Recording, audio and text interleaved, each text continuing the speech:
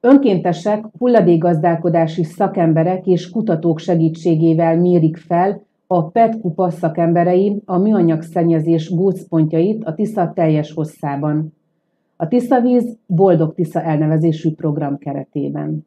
A projekt célja a teljes folyóra kiterjedő hulladék térkép létrehozása, melynek segítségével hatékonyabbá tehetők a folyó tisztítási akciók. Olvasható a televíziónkhoz eljutatók közleményben.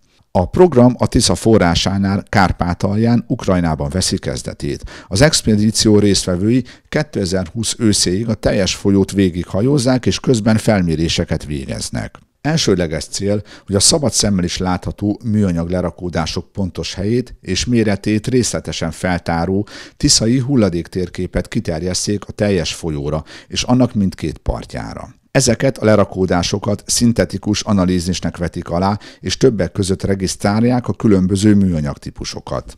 A PET kupa a projekt eredményeit egy összefoglaló tanulmányban teszi közé magyar és angol nyelven.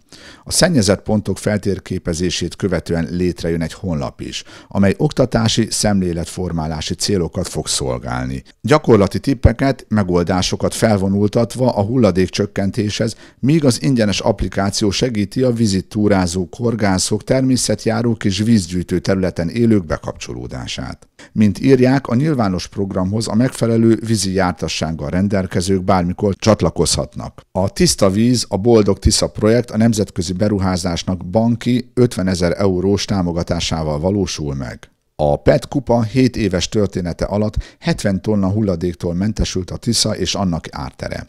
A felső Tisza és a Tiszató környéke fellélegezhet, de sok terület vár még beavatkozásra, áll a közleményben.